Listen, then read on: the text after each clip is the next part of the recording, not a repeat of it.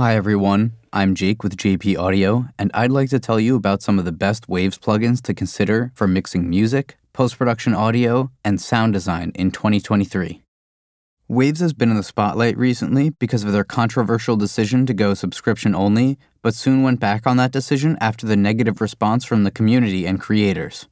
Whether you love their plugins or not, nobody can deny that there are many unique and essential tools that few other plugin companies offer. Now that Waves plugins are back on the market for individual purchase, let's talk about a few of those and how they can improve your productions and sound design. First off is Brauer Motion, an innovative tool for adding movement and depth to your mixes. It was developed in collaboration with multiple Grammy award winning mixing engineer Michael Brauer, and it's designed to simulate the way he creates spatial movement in his mixes.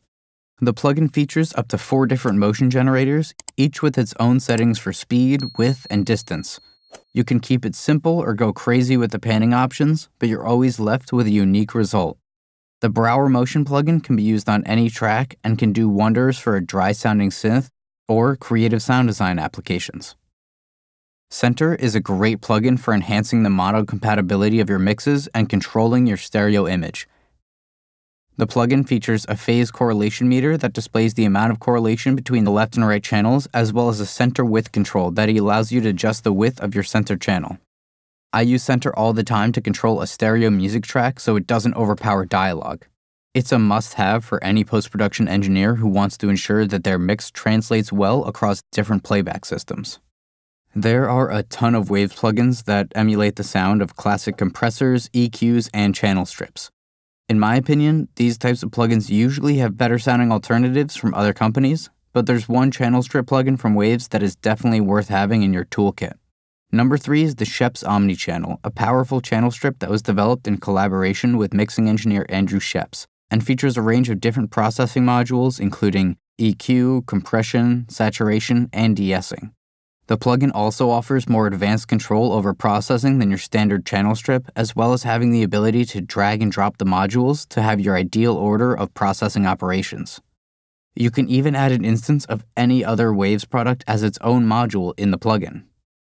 The Scheps Omnichannel is a versatile plugin that can be used on any track in your mix, and it's a great option for post production engineers who want a comprehensive toolset in a single plugin. Number four is not a plugin, but the whole Renaissance bundle, because that's how great all these plugins are. There's a reason people are still using these plugins, and it's because they sound great while being quick and easy to use. The standout for me is RComp, which I've used for years mixing dialogue and voiceover, but I also love RVox and RBass. The whole bundle has been updated with a more modern UI, but you could always toggle it back to the legacy look. Last but not least, number 5 is one of the newer offerings from Waves aimed at isolating vocals and voice in noisy recordings. Clarity VX is trained by millions of hours of audio and powered by advanced machine learning, making this a great one knob alternative to more advanced software like iZotope RX.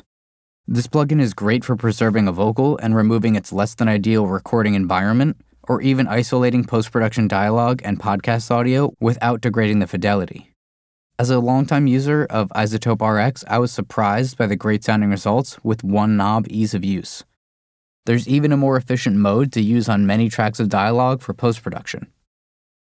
Even though there's a ton of plugins and companies out there with increasingly aggressive marketing, even decades old Waves plugins have stood the test of time and are still used in pro mixes every day, both in music and post production.